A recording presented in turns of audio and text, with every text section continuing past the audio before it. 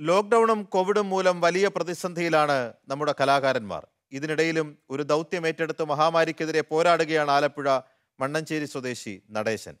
നാട്ടിലെ ചുവരുകളിലൊക്കെ കോവിഡിനെതിരായ സന്ദേശങ്ങൾ വരച്ച് ചേർക്കുകയാണ് ഇദ്ദേഹം. അമ്മയുടെ ജീവൻ മഹാമാരി കവർന്നതോടെയാണ് ബ്രഷും പെയിന്റുമായി നടേശൻ തെരുവിലേക്ക് ഇറങ്ങിയത്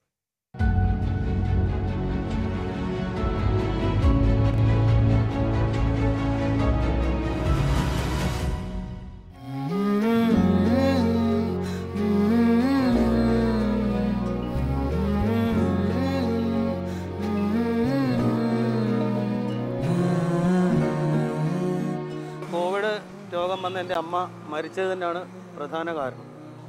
മെയ് മാസം മൂന്നാം തീയതി.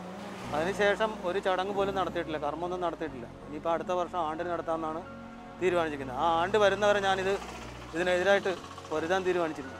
അത് എന്ത് നഷ്ടമുണ്ടായാലും ശരി അത് ചെയ്യും. ബോധവൽക്കരിക്കുക എന്നുള്ളതാണ് പ്രധാന ലക്ഷ്യം. അത് ഫലം കണ്ടു തുടങ്ങുന്നുണ്ട്. ആൾക്കാർ പറയുന്നുണ്ട്. നല്ല കാര്യമാണെന്ന് പറയുന്നുണ്ട്. ഒരുപാട് പേര് സപ്പോർട്ടും ചെയ്തു ഇപ്പോൾ തന്നെ പത്ത് പന്ത്രണ്ടാമത്തെ മതിലായി. ഓരോ സൈറ്റ് ചെയ്യുമ്പോൾ അമ്മയെ ഓർമ്മ ചില സമയത്ത് ഞാൻ കരഞ്ഞിട്ടുണ്ട് ചില സന്ദർഭങ്ങളിൽ. ആംബുലൻസിന്റെ സേറം കേട്ടാൽ മതി നമുക്ക് സങ്കടം തോന്നും. കാരണം അന്നേരം അമ്മ മരിച്ച ആ ഓർമ്മ വരുന്നു ഇവിടെ ചെന്നാലും നമ്മുടെ ഒരു സൈറ്റ് ചെയ്യുമ്പം അമ്മയെ ഓർത്തിട്ടേ ചെയ്യത്തുള്ളൂ.